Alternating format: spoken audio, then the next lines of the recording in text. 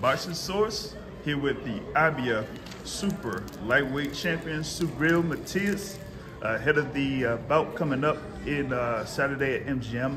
Uh, guess you're checking out what's going on with uh, the Gary Antuanne Russell Kent Cruz bout. Eh, ¿Qué opinas de la pelea entre Gary Antuanne Russell y Ken Cruz?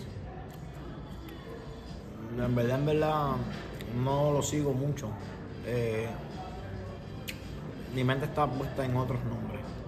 I don't really follow them that much. I have my mind set in other names to be honest with you. Uh, gotcha.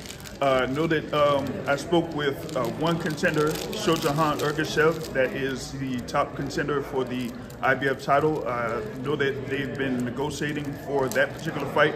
Uh, is it any closer for you to fighting Ergashev next? Eh, ¿Qué tan cerca está pelear con Ergashev para unificar títulos con la FIB?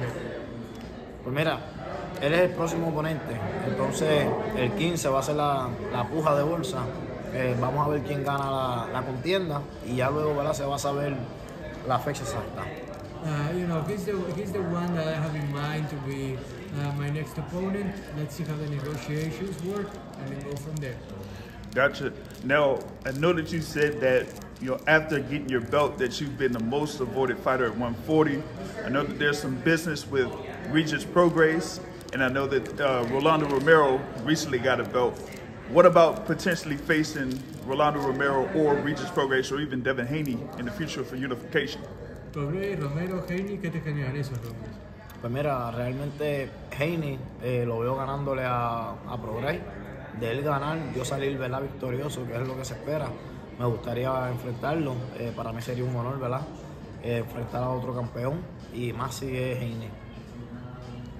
Yeah, uh, uh, you know, I see Haney defeating Prograis, and then, you know, I would love to be able to fight a champion like that and, and showing who can be on top of the division. Yeah, Devin Haney, former undisputed uh, lightweight champion, coming up to 140. You know, he's been uh, one of the best, uh, I'd say, pound for pound fighters out there. So you facing Haney, you can prove that you're one of the most talented fighters out there in boxing. O sea que si te enfrentarías a Haney, sería tu oportunidad de demostrar que sos uno de los boxeadores más talentosos libra por libra del planeta. Pues mira, realmente lo que él hizo ¿verdad? fue en 135. 140, 140 es otro cantar. Y creo que 140 ¿verdad? se llama Subriel Matías. You know, uh, what he did at 135, impressive, yeah. But 140 is another beast altogether, and the beast at 140 is called Subriel Matias. Well, like you said, the beast at 140 is Subriel Matias, and looks like, you know, some fighters have said like they've been a little bit reluctant to step in the ring against you. What does it mean to be like one of those uh, guys that may be one of the feared fighters at 140? ¿Cómo se siente ser uno de los boxeadores más temidos de la división de 140 libras? Pues mira, realmente no me considero temido. Mm, más bien es, ¿verdad? Eh, quizás las peleas buenas no se dan por eh, la, la diferencia que tengan entre compañías. Pero espero en Dios, ¿verdad? Ya pronto eso, eso acabe. I don't consider myself necessarily feared. It's just a matter of the good fights being able to be resolved like they should be. So it's just a matter of being patient, and I'm willing to be patient. Gotcha. Thank you very much, Gracias. Uh, you know, for taking the time to speak with the Boxing Source. We're going to be seeing more action from you, the IBF Super Lightweight Champion, Subriel Matias. Muchas gracias, jefe.